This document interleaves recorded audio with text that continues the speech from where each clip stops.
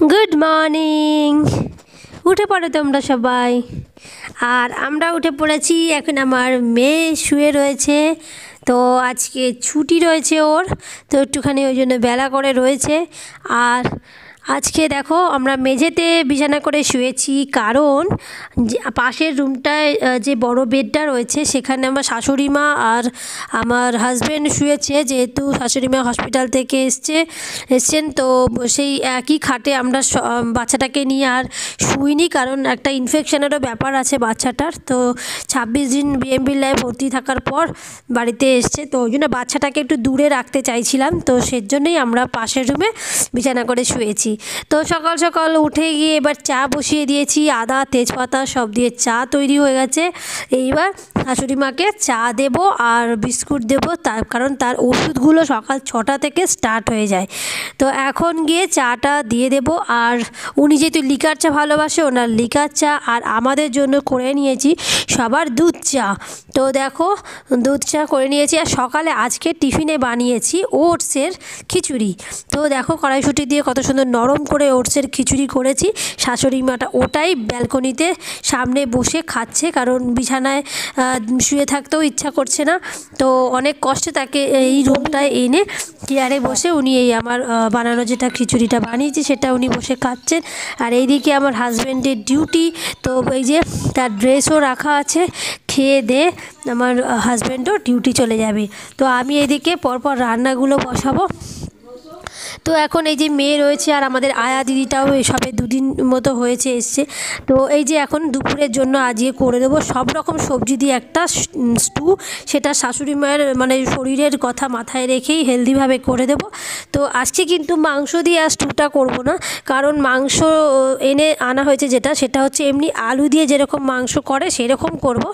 আর এমনি হচ্ছে সবজির স্টু করব। তাতে কিন্তু মাংস দেব না। কারণ সব- সবই যদি মাংস দিয়ে স্টুটা করি, তো সবার ভাত দিয়ে সেটা খেতে ভালো লাগবে না। তো স্টুটা এমনিই খাওয়ার জন্য ঠিক আছে। তো যার জন্য স্টুয়ের আলাদা সবজি কেটে নিয়েছি, আর এখানে আলু আর উচ্ছে দিয়ে একটু ভাজা ভাজা মাখা মাখা যাই বলো, সেই তরকারিটা করব। তার সাথে হয়েছে আমাদের মুরগির মাংস। তো মুরগির মাংস দেখো, এখানে মেটেও রয়েছে। মেটেটা শাশুড়ি মা খেতে খুব ভালোবাসে, আর আমার মেয়েও ভালোবাসে।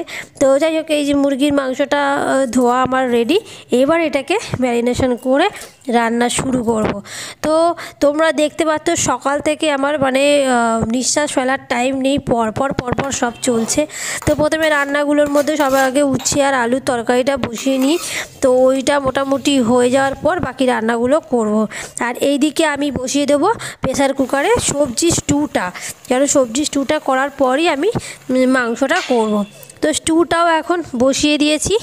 তো স্টুটা যতক্ষণে হচ্ছে ততক্ষণ মাংসের আলুগুলো কেটে রেডি করে নিই। আর এদিকে বসিয়ে দিয়েছি ভাত।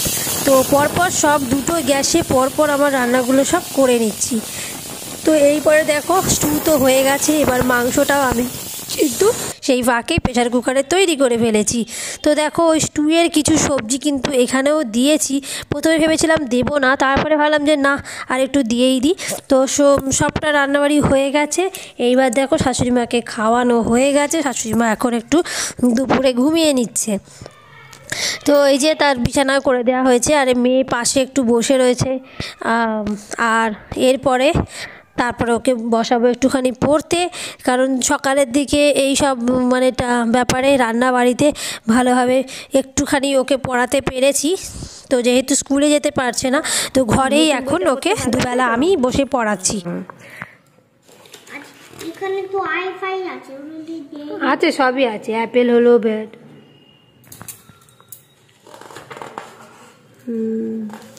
এই তো ও বাবা মধ্যে এতগুলো পাতা গেল কোথায়? হ্যাঁ এই যে ই ই ফর কি আছে? ই ফর এলিফ্যান্ট ওই ওপরের হাতগুলি হাত দাও নিচেরগুলো এখন পড়তে হবে না ওটা হোমওয়ার্ক দেবে।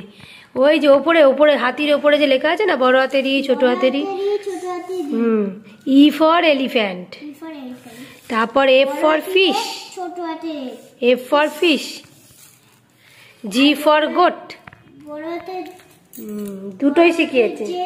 বড় হাতে জি ছোট হাতে জি। হুম। G for goat.